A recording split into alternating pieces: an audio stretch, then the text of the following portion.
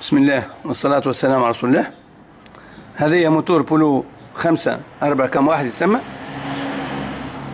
ال- ال- المشكل اللي فيه كونه عنده السلندر هذايا ما يمشيش اللي هو ال نقولوا إحنا الأول جهه البواد أو الرابعه شفتوه هنا كيش يعمل ال calcaire هذا شفتوه هنا هذاك كله زيت شفتوه هذاك كله زيت شفتوا الزيت هذاك كله زيت اللي هو يستهلك فيه نشوفوا هنا مثلا هنا وهنا ما فماش زيت دخان بركة. هنا وهنا فما دخان بركة اللي هو آه، نتاع ال- حرقان ال- البنزين. وهنا طبعا زيت وبنزين. شوف إيش يخرج يعمل ال calcaire هذا يعمل ال- الواحده هذه.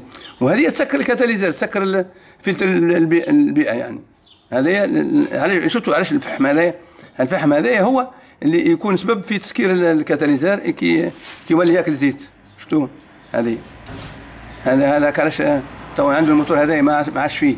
تو آه، نحيناه وباش نبدلوه له وباش نوريكم تو الموتور الثاني.